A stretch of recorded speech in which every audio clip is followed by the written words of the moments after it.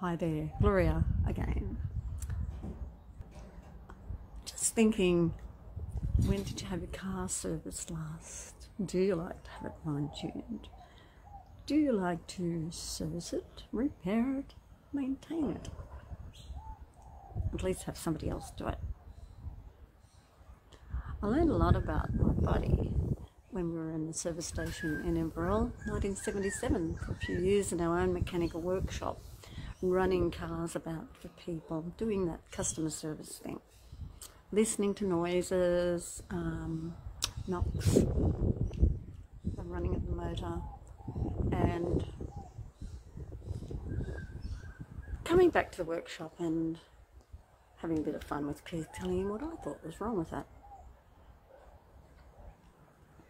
Now, I hadn't thought much about my body at that point in time, but I was a um, chocoholic, a sugarholic, not an alcoholic, but a coffeeaholic.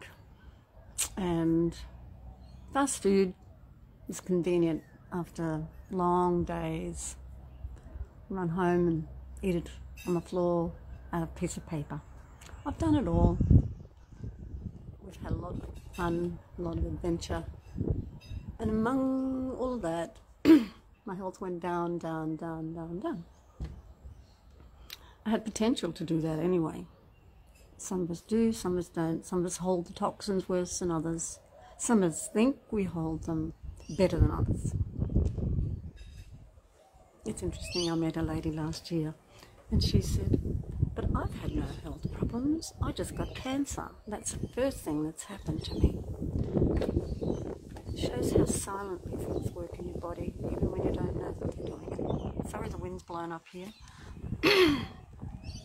I crashed the first time really bad, um, even though I'd had problems before long term. Uh, I crashed in about 2003 or 4, and it when I first really got to see my own live blood on analysis machine, and I could see that these um,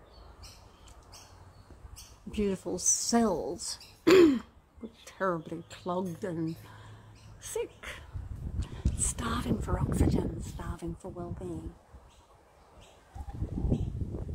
So, I had my body, had my blood, had my cells. My hormones, I always knew I had them. All the symptoms that women have. Men have some symptoms too.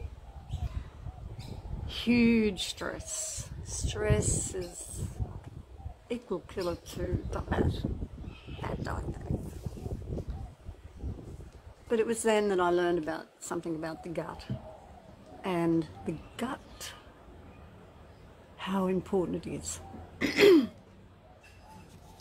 I still didn't realize it was number one priority until the last couple of years it's really penetrated in how much the gut is number one. We only have to listen to the media to know that autoimmune diseases, inflammation, gut issues are dominant at the moment. It's where any nutrition we have in the food we eat or the supplements we take is absorbed. And if there's no absorption, then there's little benefit. Well, if there's little benefit, absorption, there's some benefit. But if there's not much absorption, then we're doing our best, but we need to get that absorption right. So here we go. Curiosity's always got me because I, I like to to learn, even though I didn't ever go to a library in my schooling years or later until my daughter and my grandchildren hadn't been to a library. I um, I just had within myself a standard of health that I wanted to acquire. I had learned at school exercise had brought me beyond myself into a well-being field. Then I understood that there are other things contribute to that well-being field too. So I was beginning to discern like the car, like the symptoms of the repairs that were needing to be done, the symptoms of the repair of my own body. and to develop a standard of my own health. So that's where I've been led to follow, to learn, and to support others, hopefully. Okay, I think I might go. Have a good day.